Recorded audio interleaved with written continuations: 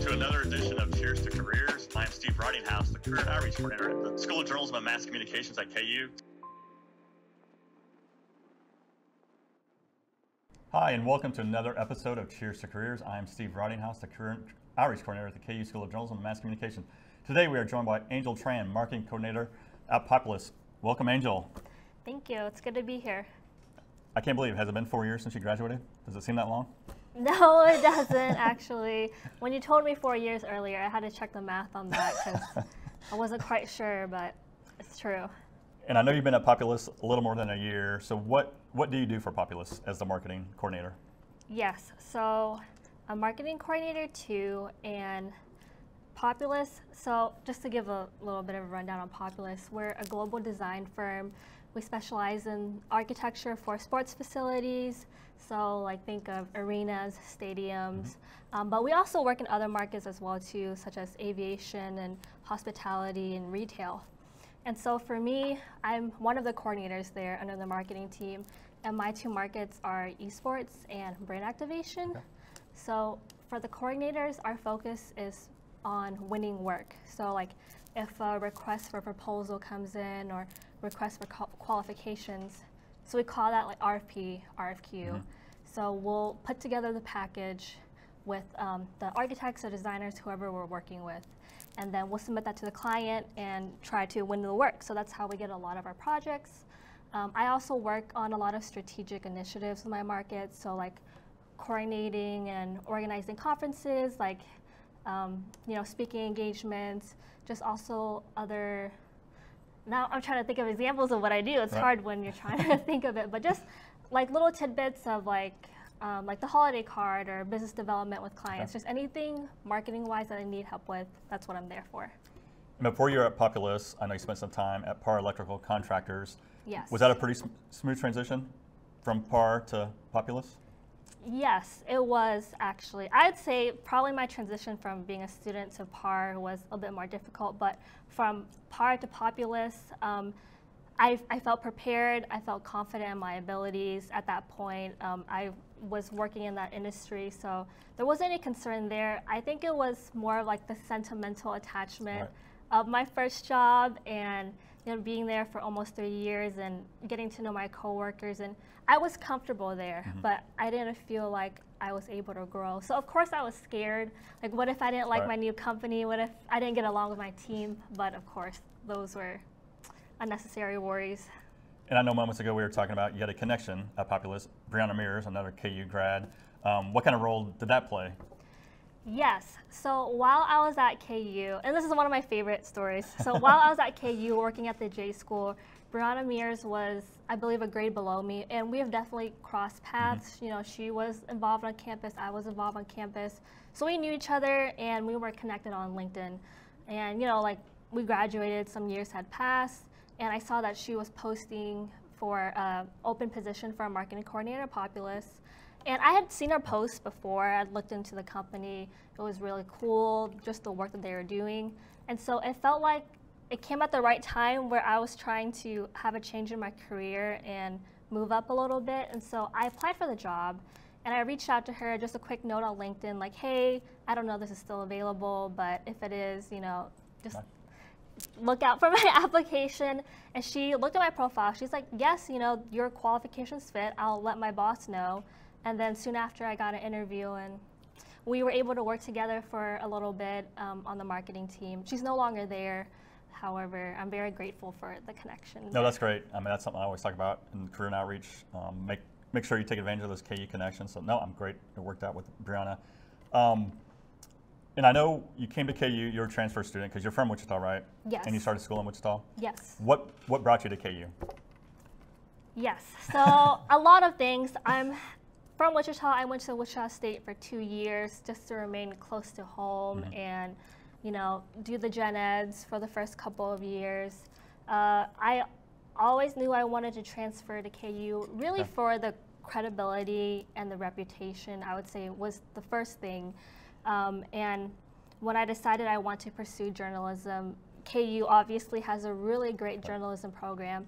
And I just want to preface by saying I loved my time at Wichita State. Like that was valuable in its own way, and I made um, good connections there.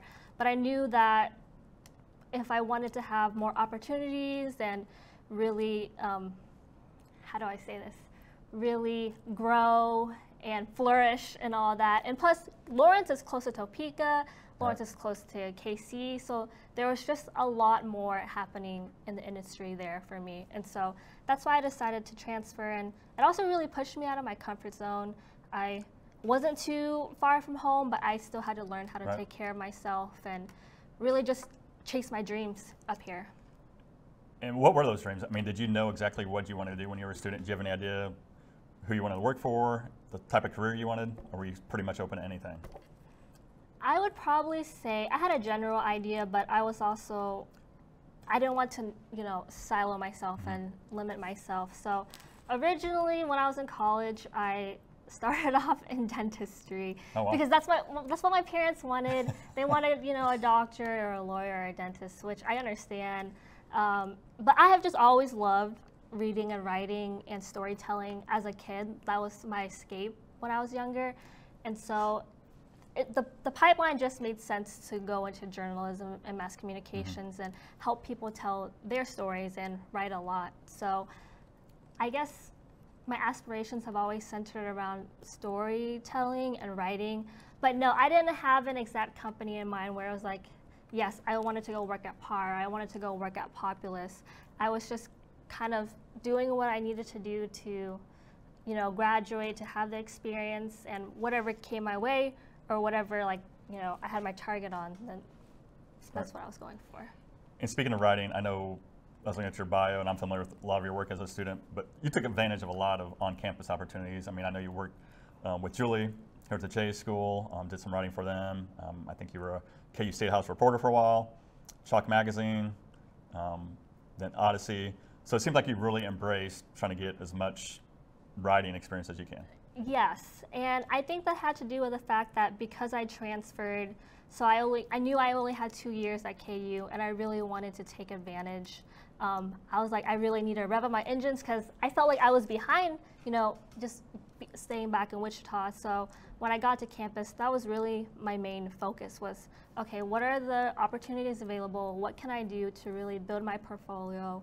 Um, really, you know, add to my stock value. And so I just went all in yeah. on a bunch of stuff, and it was great. It was busy, but it was a good time. And going back to Populous, I know um, you shared some great photos, and it looks like you coordinated a Lunar New Year festivities with your work. Yes. Are you part of um, like a diversity board? Is that was kind of the inspiration for that, or they kind of challenged you to come up with an event, or what was the kind of the story behind that? Yes. So when I joined Populous last year, I learned that we do have different um, like groups within Populous, and one of them is called Pop Together, okay. which is our diversity, inclusion, equity, and belonging group. And that's something I'd always really been passionate about, especially you know as a minority. And so I ended up joining the group, and I noticed that so there was a lack of like programming for a mm-hmm. lot of Asian holidays. There just wasn't a lot of Asian American representation in the group, which is no one's fault. Right. It's you know it's a grassroots organization it's volunteer basis. So I was like, okay, I'm gonna go in and I'm gonna fill this gap. And so over the past year, I've had the opportunity to host um, a few events. One was for a Mid-Autumn Festival, and most recently, as you noted, was the Lunar New Year celebration. And that was probably the most rewarding aspect of my career. Uh, it's they Populous has just been so supportive. The leadership has been. They just kind of let me go with my ideas and they're like okay whatever you want to do here are the resources and we'll let you do it. So i was able to give a presentation on the lunar new year um, and then also we had a nonprofit youth group lion dance group. They came in and they performed a traditional lion dance for everyone. Oh, wow. and everyone like i gave everyone uh, red envelopes so they could put lucky money to like better like feed feed the lion for like good luck and so that was just a really, really cool thing. And I've always had that vision in my head because we have a really neat grandstand area okay. with like the big windows in the back so and like the stairs. I'm like I could see them performing here. I could like hear the drums and the cymbals and so that was just a really rewarding experience. Did you get any positive feedback from your coworkers? Yes, yes. I was definitely running on an adrenaline high for a week because everyone just reached out and said it was great, and like I didn't know that. I learned so much about this. Like I've never had like exposure to you know the culture like this, so it was just. I keep saying it's rewarding because it is, and I just like that's what I'm really passionate about. So I'm glad that in addition to my work, I have this outlet to share Mm-hmm. my interests and promote um, diversity and raise awareness for culture. So. Is there a good chance that's going to come back next year? Yes, the actually, people have talked to me about making it a tradition because it would be like a good, Right. um, you know, kind of superstition tradition to have the line dance come in and bring in the, the new year and bring prosperity and good luck, and obviously um, for the company as well too. So, yeah. And what was involved with the uh, Mid Autumn Festival? So the Mid Autumn Festival, that was the first uh, event I had hosted. So again, I had given a presentation at our town hall, you know, explained the the history, where it came from, the symbolism, and then I coordinated with other all the other offices in the U.S. as well too. And so we all brought in mooncakes, uh, which is like this like pretty decadent pastry that we only eat around Mid Autumn Festival. So I bought a bunch of mooncakes. You know, I Right. like set it up. I had signs and everything. And so after the presentation, people in the KC office were able to go and sample and try a little bit. And it was just a good time. And everyone, again, positive feedback. And I'm just grateful that they pretty much let me do whatever I want. So. And you talk about diversity in the workplace. Um, I know that's that topic has gained a lot of momentum in recent years. Is that important to you? I mean, throughout your career, I mean, are you always going to look at an organization that really values that? Yes, for sure. It's just something, even as a student, I had been involved at KU with, you know, um, VSA, so Vietnamese Student Association, ASU. Even at Wichita State, I was involved with those as well. And I'm, I'm in an Asian interest multicultural sorority. So that's just a piece of my identity that I will always carry through with um, Okay. through my career. And I honestly didn't know Populous had a diversity group like that Pop Together. So it was just uh, an added perk, really, when I learned about it. And Populous is based out of Kansas City, but I know they're a global company. Do you have any opportunities to travel with Populous, or you, do you want to travel? Yes, yes. So I have traveled. I went to a conference last year in Los Angeles, which was for stadiums, and it was a really cool. I think we were at, it was, I think it's called Sports Dignity Health Park. It's Okay. where LA Galaxy plays out. I forgot Okay. the name of it, but that's where we had the conference, and they also had tours. Um, I wasn't able to make it, but they had a tour of SoFi Stadium. So maybe next time. I'm trying to go to it next year. But yes, so people on our team do have opportunities to travel. Like if there's a conference they see a value, or if we want to go to a project opener where we just finished a project and we want to go and experience that, or we want to visit like a construction site, especially if it's a project that we help win, like the marketing coordinators, then they're pretty receptive and pretty open to letting us travel. Okay. I know you've talked a lot about your writing. What what have been some of those transferable skills that you developed at KU that you've been able to carry to your job at Populous? Yes. So the skills at the J School, I would say, are pretty versatile and flexible.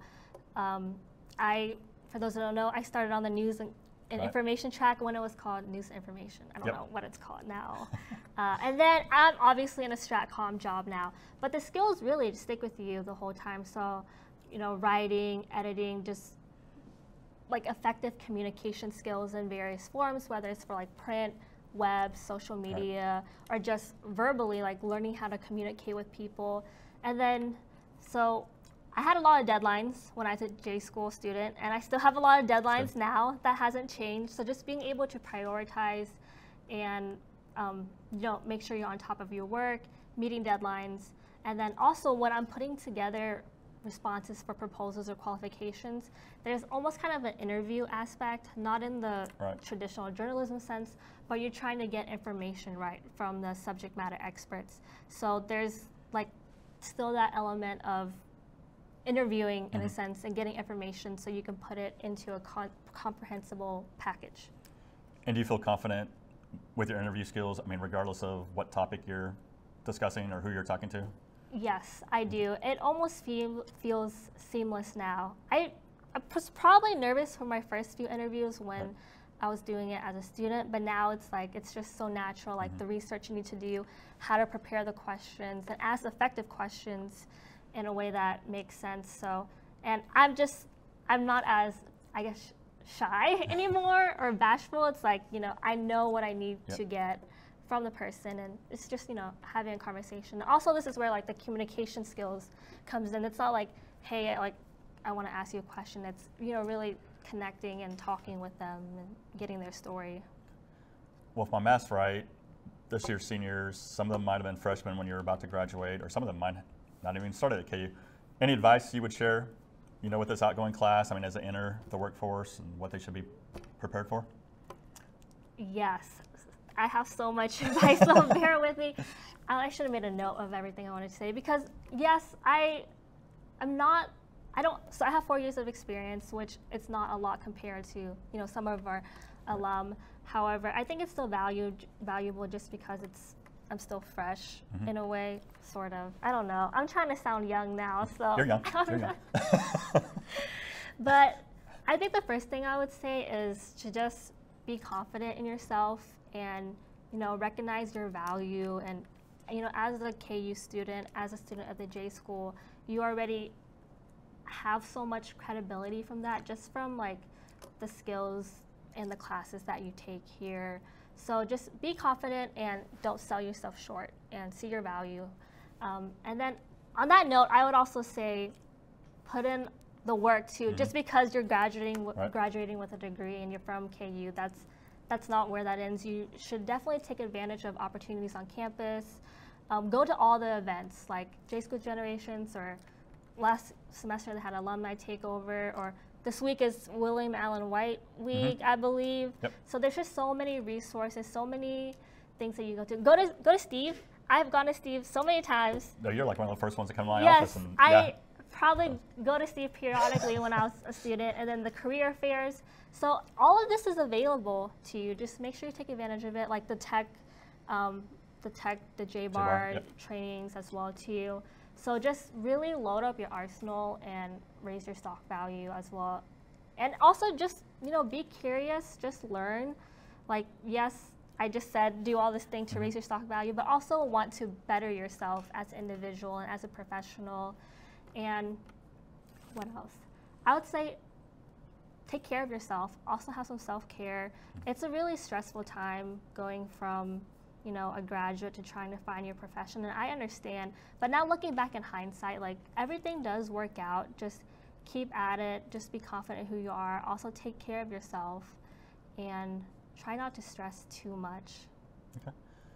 No, I appreciate you taking the time to visit. Um, I know I'm in my eighth year here, so I was here, I think, when you arrived, familiar with your four years. So, hey, I just want to say, Angel, thanks for being here and uh, cheers to your career. Cheers. Thank you.